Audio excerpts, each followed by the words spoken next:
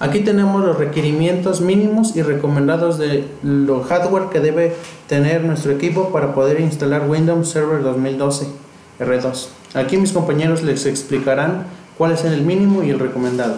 Bueno, empezamos con el mínimo.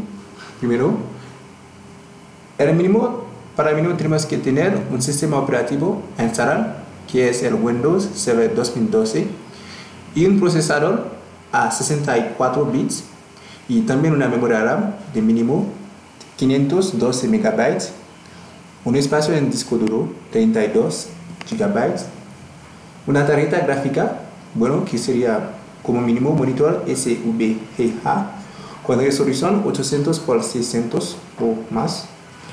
Como periférico mínimo sería como una unidad de DVD, un teclado y mouse de Microsoft, acceso a Internet,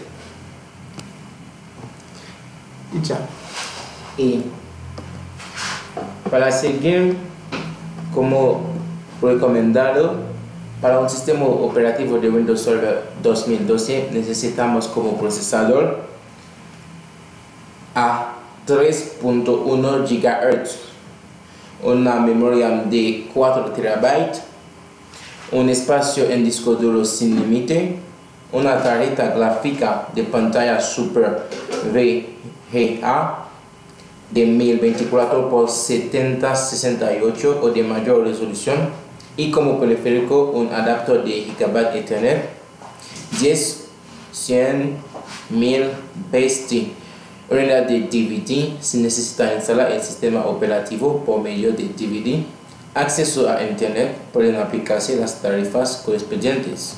Bueno y ya bueno, en este caso sería todo sobre los requerimientos para poder instalar Windows Server 2012. Hasta, la, hasta luego.